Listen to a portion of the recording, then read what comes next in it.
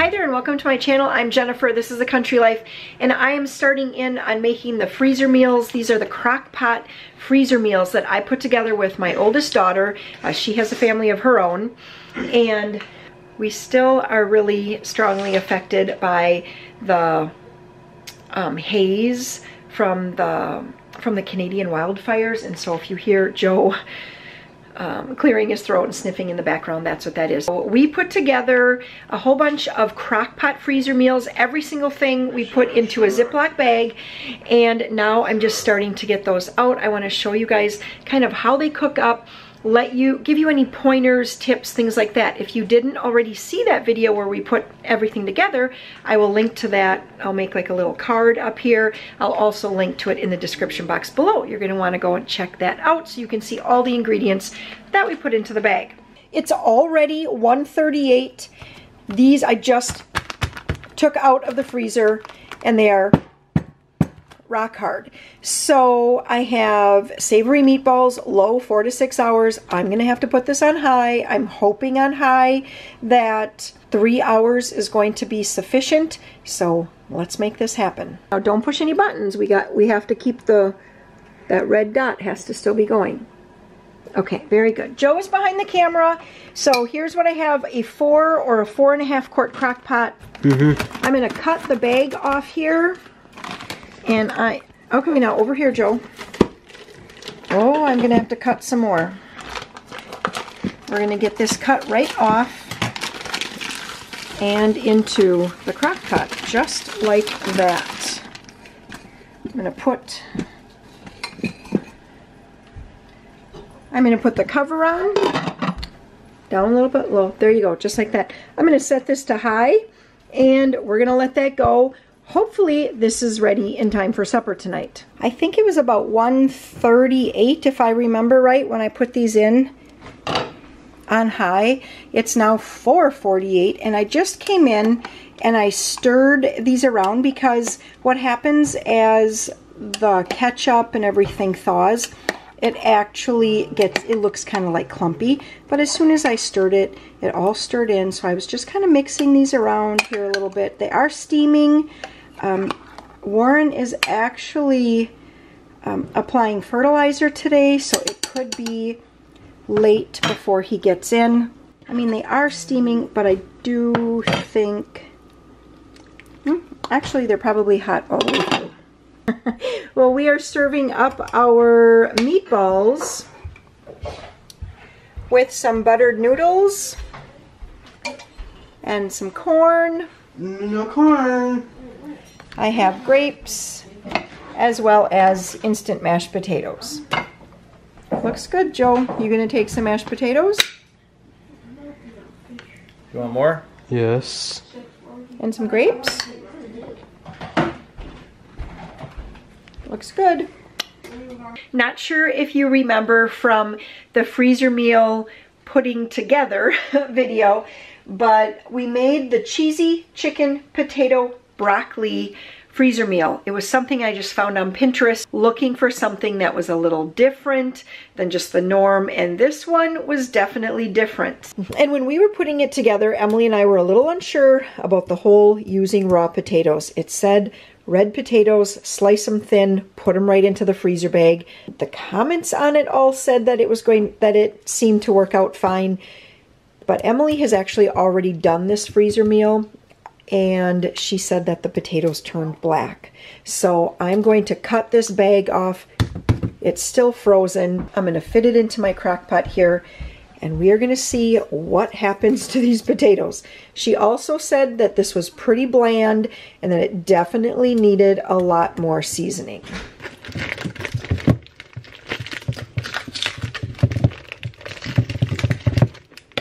The recipe also called for some Velveeta cheese cubed up. Um, this obviously got a little bit smashed, but this is the Velveeta. I'm just going to let this sit on the counter until it thaws. Here's what it all looks like in here. I'm going to set my crock pot to high, and I will be watching it carefully after about two hours because I don't want to overcook the chicken. And you know how chicken breast can get. Did we do chicken breast or is, are those chicken thighs? I'm having a hard time. I think those might actually be chicken thighs. But um, yeah, so after a couple of hours and it has some time to kind of thaw down, I'll probably come in and mix it up a little bit and maybe even add some extra salt and pepper at that time since I already had the heads up from Emily that this needs some serious seasoning.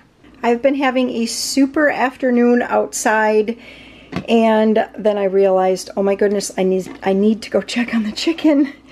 And it is boiling. So I just turned it down to low. And so far, you guys, um, I am having okay luck with my potatoes. It may be because I had the option of stirring it halfway, like as it was starting to thaw, and I was able to get those potatoes under the liquid. Um, whoop, there's a brown one. Okay.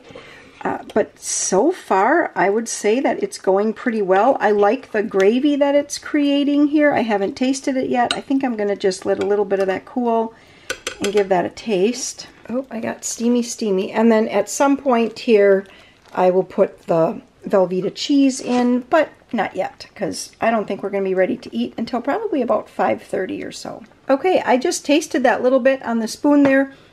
I think it has plenty of salt and pepper, so that's just what it started with. I know that earlier I said I was going to salt and pepper it like as it was thawing. I didn't because then I just had that thought, you know, I better just wait until I'm able to get a taste of it. And since the, the chicken is cooked through at this point, I gave that a taste and um, I think it's great. I think it has plenty of salty flavor. I can taste that. Um, I'm pretty sure there's Worcestershire sauce in there. I can taste kind of that savoriness of it. And so far, so good. Okay.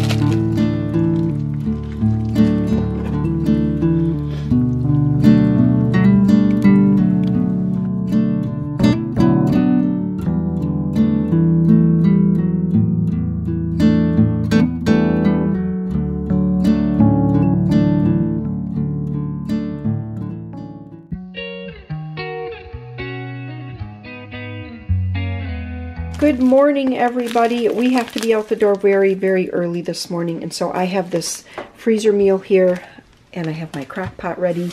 This is completely frozen. I'm just going to cut the bag right off of this. Sorry for those crazy shadows right now, but we have kind of the lights turned down low. Good morning, Maria. Thank you. Um, I just wrote on there two cups of water, so I'm just going to cut the bag off, get it in here, two cups of water, low, and we're going to be out the door, and when we get home for supper tonight, I'll probably, um, we'll pull out some buns or some bread, or maybe I'll make rice.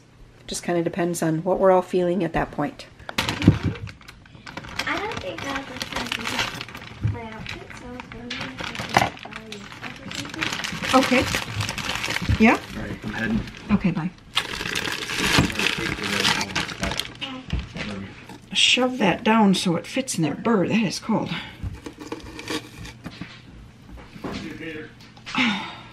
Go, right to the side.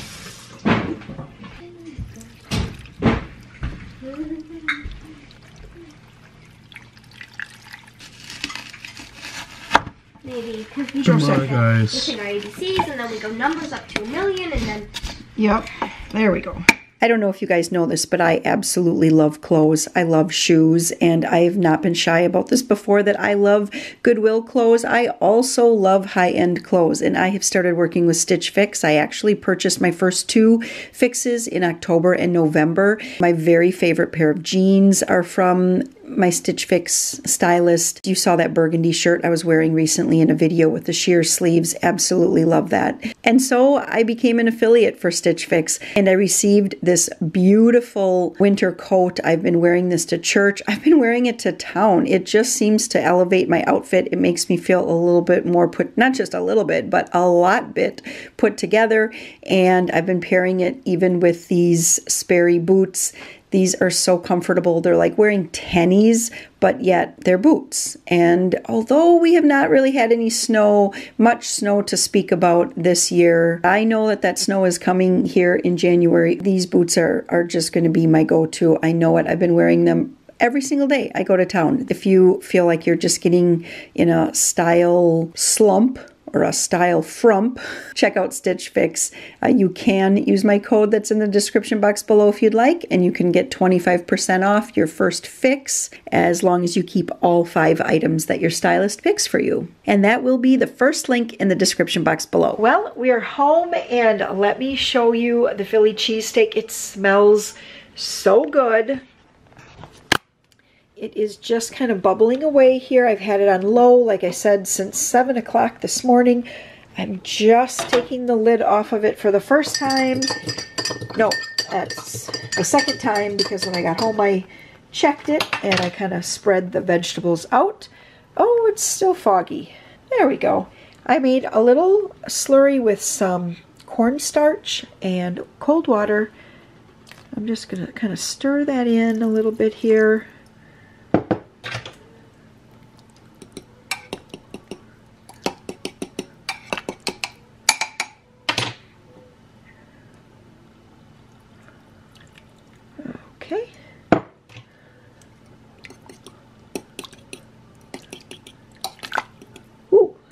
That was hot. I decided I'm going to make rice. I'm going to do it in the Instant Pot again. Last time Warren really liked that in the Instant Pot. It kind of made a little bit of a, I guess what I would almost call like a sticky rice. Yeah, I'm going to let that stay on low. It's only like, I, I think, did I tell you it's like 10 after 4? And we probably won't eat until 5.30. So that'll have time to kind of like come back, bubble up a little bit, cook that cornstarch flavoring out and turn into a gravy. And then we're going to serve that over the rice.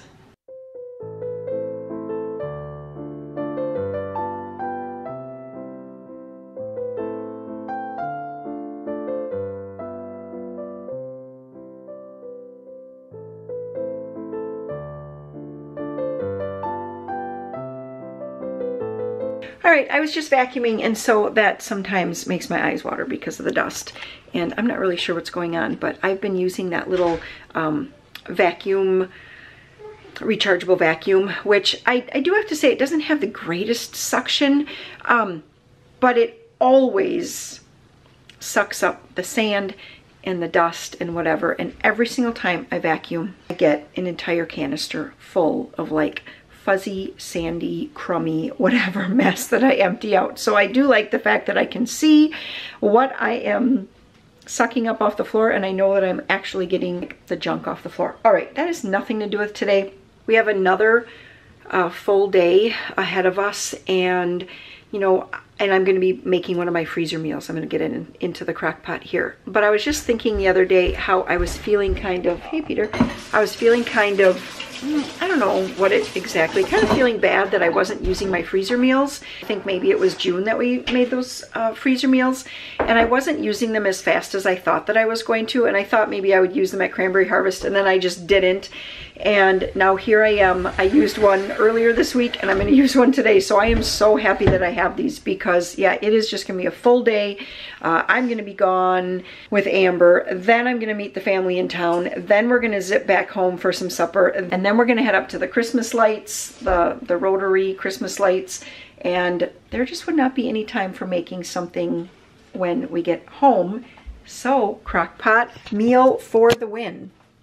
So this is marinated Italian chicken. This recipe is in one of the cookbooks, you guys. It's in one or two. I'm kind of thinking it's in number two.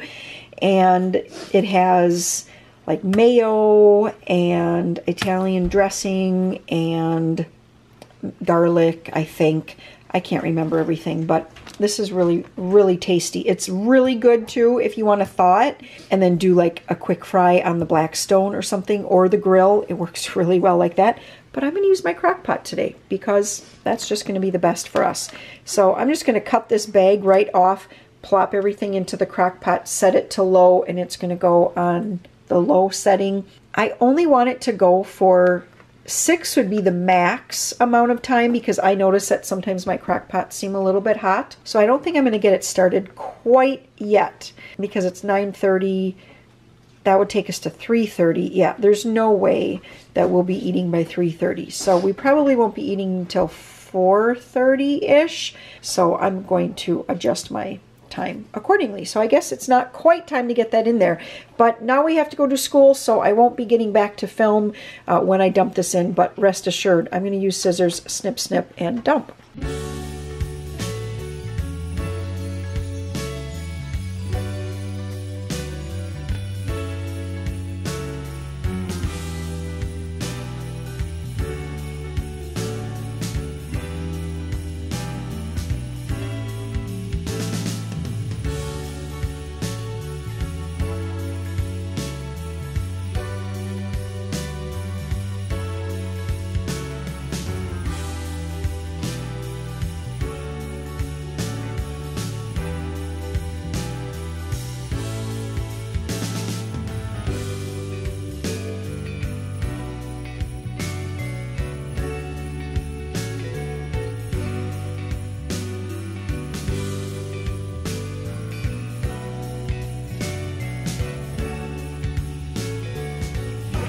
Is adorable.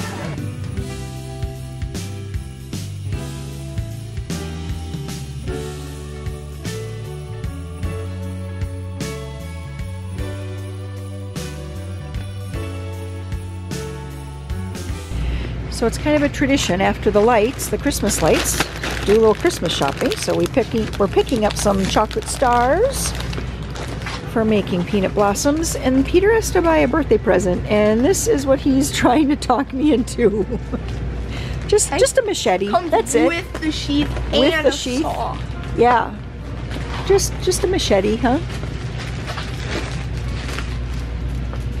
Okay, well, we'll see. Hey, there's a smaller but more expensive one. Yeah, no, that's too expensive. Well, for today, I'm going to actually make a new soup. I do have a couple of chicken and rice soups in my cookbooks. I'm pretty sure that they, well, I'd have to look to see if they're in cookbook one or two, um, but I did find another chicken and rice recipe that I'd like to make. I just have to go over to the living room here because that is where it is. And let me show you something. Okay, remember I bought that rug I said I wanted to bring some green in and it just was not, it was not right at all. So anyway, um, a friend of mine, I who's really good at all this interior design kind of stuff. Uh, I had asked her if she could give me some options, and this was one of them that she gave me an option for. She doesn't know this yet, uh, but I went with the oval one just because I always want to try something and just see. The tree was already in place, so we really, we just plopped it over top just so I could at least get a feel for if I liked the coloring in here. And I absolutely love this one. This is just called, I think, something like ivory and brown. And it's very soft, but it might be very soft because there's another rug under it. I'm not sure. Anyway, after Christmas, hi Joe. Hi. this is a close up. is blue present Which blue present? and blue one Oh, back there. and mine. That is a blue present back there. That one's pretty, and that one's really pretty It is too, isn't mine. it? Uh, I'm not sure if that's for you or not. So I was looking through this cookbook last night, Flour and Grace, and I found a recipe in here for a chicken and rice soup. And I just thought, I'm going to give that one a try. I should probably compare it to mine and see just how close it is to it. I'll do that in a minute. And the cookbook author actually requests that uh, the recipes in here not be shared um, online, like written down or anything like that, or pictures of uh, the recipe. So I'll still kind of walk you guys through here what I'm doing. First up, I'm going to be making some chicken here. So I have some thawed chicken breasts. Are those not enormous? I don't know where they get these, where these chickens are from. But okay, I'm going to put just a little bit of olive oil over each one. I'm going to salt each one. I turn on my oven to 400. Pepper.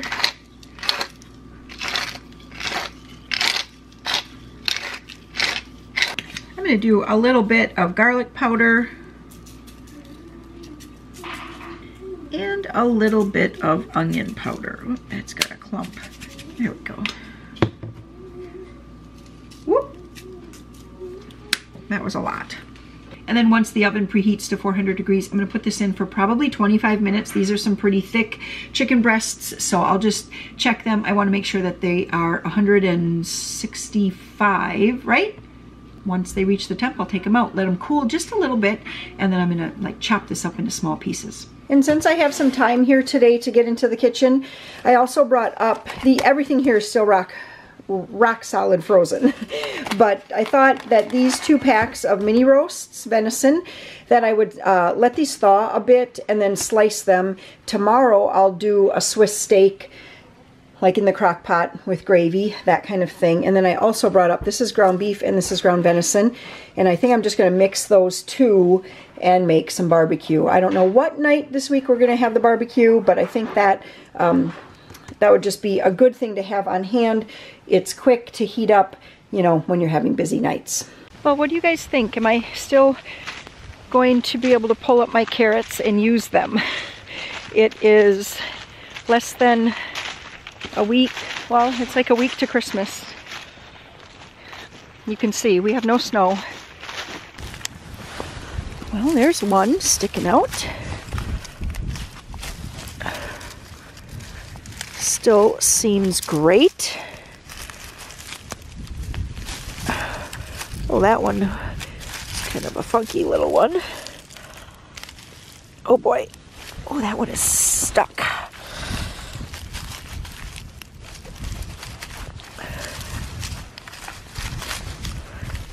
I feel like that is going to be my problem. It's going to be getting out. Oh, shoot, without them breaking. Well, I didn't bring down anything to dig, so that's kind of a problem. Well, look at that. It's just the top. That's it. That's all that's frozen of the ground. Otherwise, it's completely...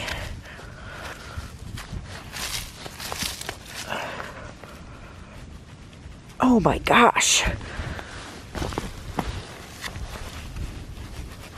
There we go.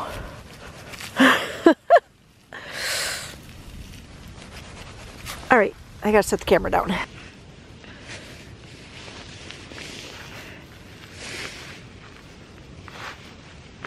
Oh, look at that carrot. There's my hand. That is a huge carrot. All right, well, I'm just gonna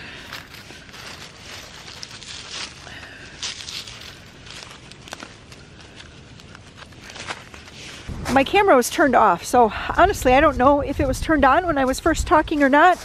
It's so cold out today and windy. And yeah, I didn't bring a I didn't bring a basket down. I didn't bring anything. So my hands are kind of tied up here. I can't do a whole I can't I can't check if I've if I caught that first filming or not on camera.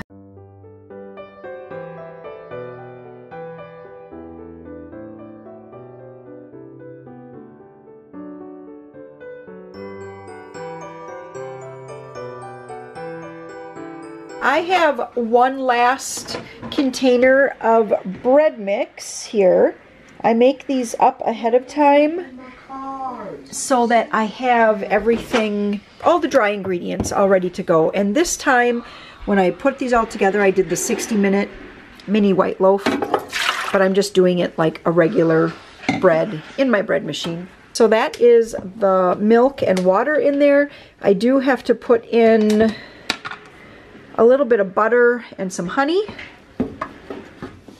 There's the dry ingredients. I have to get the cover on. it still works even though the cover is broken. And set it to the dough cycle. So over on the stove, I have the ground beef and ground venison kind of like warming on the stove here so that I can start uh, scraping it and getting that browned. I have over here simmering, although it's sure steaming even on low, but I have the, the wild rice is in there. I have some extra brown rice here because the chicken and wild rice soup recipe calls for three cups of wild rice and I don't have quite enough, so I just am substituting in a little bit of brown rice, which now is gonna make it even more like the recipe that I already have in my cookbook. Uh, but this one's a little different because it has oregano and chili powder, and that was a, a different a different seasoning than any of my recipes that I already have. So we're gonna we're going with it. The chicken at 25 minutes was not quite done. It was only uh, reading 150 degrees. So I have that in for another 10 minutes and I'll check it at that time.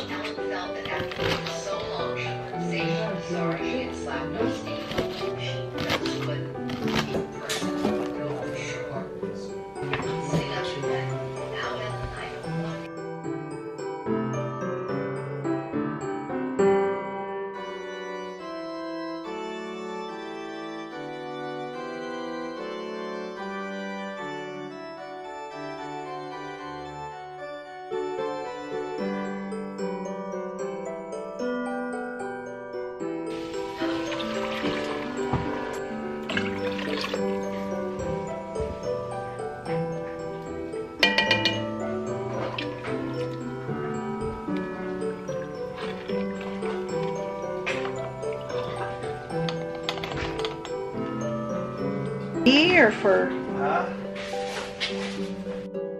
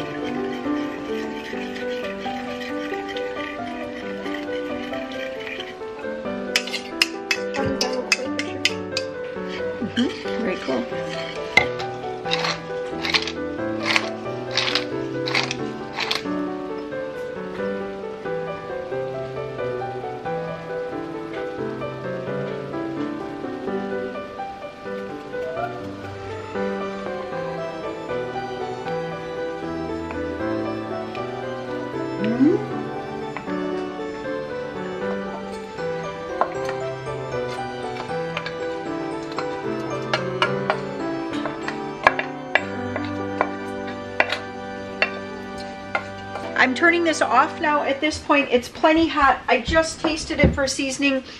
I went a little bit lighter on the salt than the recipe called for because I didn't have like a chicken stock that wasn't, you know, real salty. I, I used the chicken soup base. Um, so I did a little bit less salt and yeah, it tastes very good. I do have brown rice here yet that I made because I thought that I would need some more rice, but I actually think it's a good consistency. I want it to actually be soup-like. So I'm gonna leave it like that and not put in any extra rice. So that extra rice that I did make, the brown rice, can be something that the kids have for lunch tomorrow. I can add it to something else this week. It's not gonna go to waste.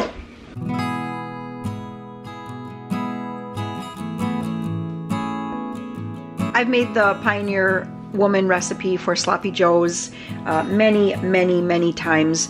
I am not going to walk you guys through that or anything but you can check out her website for the recipe. If you have her cookbook food from my frontier that's the that's the cookbook that you'll find it in on page 58 so at this point i'm just going to let the barbecue um, simmer away. I have my soup over here I'm just getting my two packages of venison mini roasts into the refrigerator. I'm gonna let those thaw overnight so that tomorrow morning they're still, I want them to be a little bit icy. They just will slice really easily that way. And then I will pound them out and turn those into some Swiss steak. the bread machine just beeped. So I'm gonna get this shaped and into a loaf pan so that it can rise. Uh, it's just about two hours until supper time, and so that's gonna give me plenty of time to let this rise. This usually takes a good 45 minutes, sometimes even longer.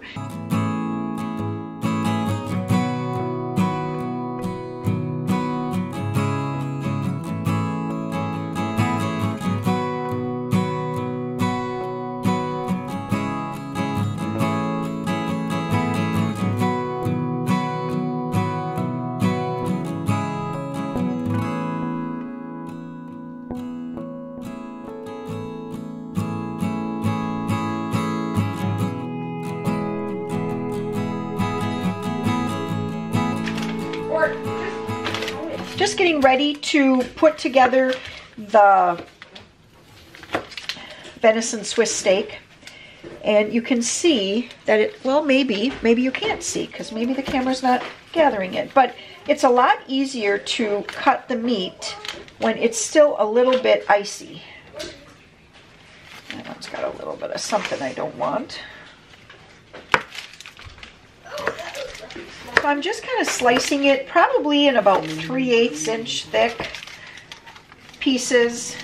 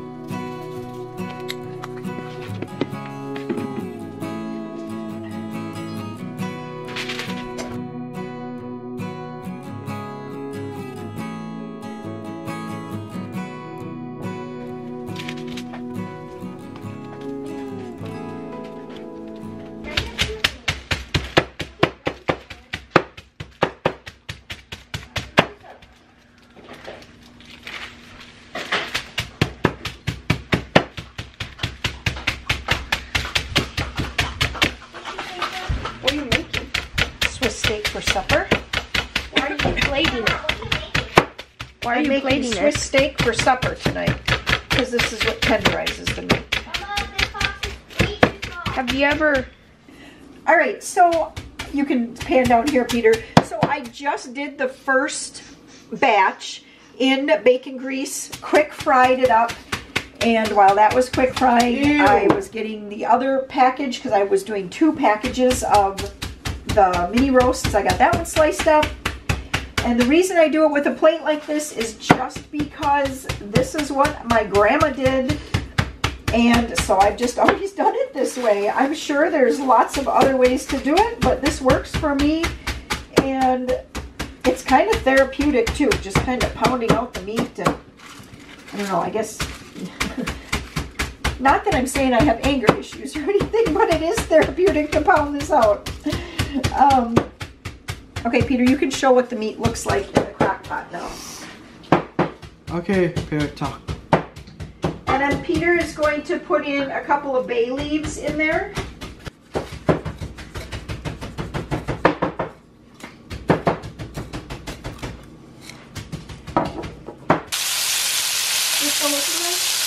All right, so this is what I'm doing. I explained it before, but I just wanted to get some quick video for you guys to see. I, I don't overpack the cast iron skillet here. You just want to you want to leave some space. I just added some water here so I could loosen up all the bits. I only do that if I don't have any burnt on flour. Sometimes if I if my my like assembly line doesn't go quite as I'd like, I end up burning a little bit of the flour, then I do not add water and loosen those bits. But this time I didn't burn anything, and so I added water, loosened the bits. I'm going to get this poured over meat here. This smells so good, you guys. I just want to eat this right now. Actually, you could. I mean, this is cooked enough. It's a little bit rare in the center, but um, at this point you could actually cook it, or you could actually eat it. This is something like, let's say you wanted to make... Um, some quick sandwiches or something, you could do it like this and then just quick serve it up on like toast with some gravy or something. Oh, that would be good too. But okay, uh, I'm going to slow cook it so it gets really like fall apart tender here today.